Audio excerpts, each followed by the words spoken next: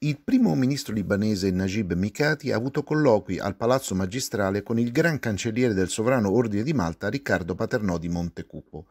Dopo l'incontro, Mikati è stato ricevuto dal luogotenente di Gran Maestro Fra John Dunlap. Nei colloqui, ai quali ha preso parte il grande ospedaliere Fra Alessandro De Franciscis, sono stati ribaditi gli ottimi rapporti suggellati da 70 anni di relazioni diplomatiche. L'ambasciata del Sovrano Ordine di Malta a Beirut venne infatti aperta nel 1953, mentre l'associazione ha avviato i suoi programmi di assistenza medica e sociale nel 1981.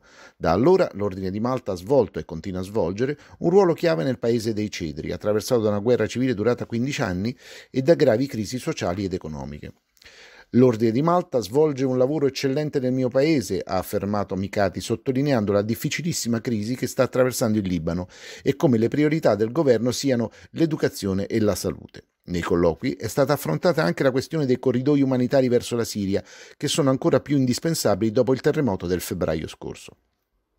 Il Gran Cancelliere ha ribadito che il Libano è nel cuore dell'Ordine di Malta siamo pronti, ha detto, e disponibili a fare ogni possibile sforzo per aumentare i nostri programmi medici e sociali. Una riunione è prevista a Beirut nei prossimi giorni tra Mikati e il presidente dell'associazione libanese Marwan Senawi per fare il punto della situazione e coordinare gli sforzi. Dal 2019 il Libano sta vivendo una nuova catastrofe umanitaria, aggravata ulteriormente dalla crisi pandemica e dall'esplosione del porto di Beirut dell'agosto 2020. La crisi economica ha fortemente indebolito il sistema sanitario, farmaci e medicinali di base scarseggiano presso i distributori, gli ospedali e le farmacie.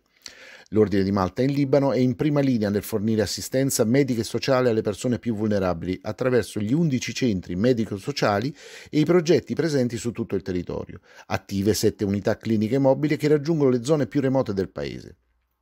L'Associazione Libanese dell'Ordine organizza inoltre campagne di prevenzione e sensibilizzazione contro tumori, malattie cardiache e gestisce programmi per assistere le donne in gravidanza. Di recente l'associazione ha inaugurato un nuovo centro medico a Beirut in grado di assistere fino a 500 pazienti al giorno.